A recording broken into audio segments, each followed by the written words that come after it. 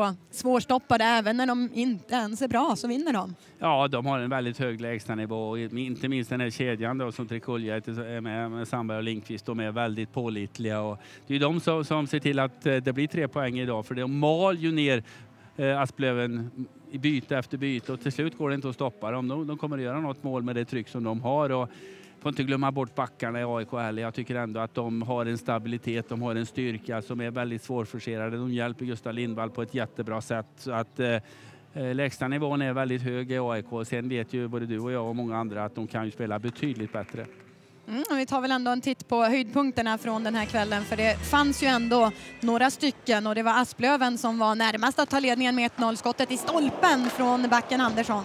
Ja, typiskt ett lag som behöver poäng. Det är inte medstuds, men stolpe ut istället för stolpe in. Samtidigt som den där studsar på lite ben och allt möjligt innan den tar i stolpen. Men Lindvall är ju ganska bra med ändå och får bra hjälp av backarna.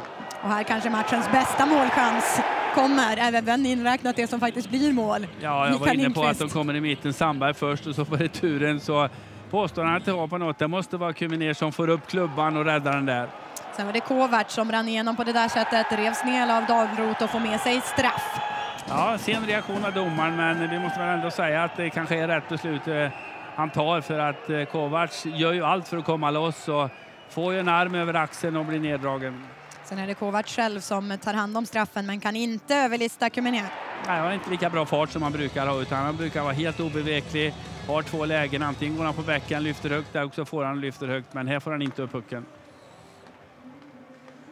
Sen är det Daniel Olsson Trekulja som alltså kliver fram och gör matchens enda mål. Ja, vi ser att Asplövenbacken krymper ner, faller ner väldigt djupt. Han är i toppcirklarna eller mellan cirklarna när, när, Daniel då får göra det avslutet. Och sen, eh, ja, den går ju mitt i målet. Den måste gått över axeln på Kuminer där för annars så hade den varit helt felplacerad. Men snabbt, bra avslut, överraskande. Mm, och där har vi statistiken eh, från eh, den här matchen som alltså slutar med tre poäng till AIK på hemmais mot Asplöva.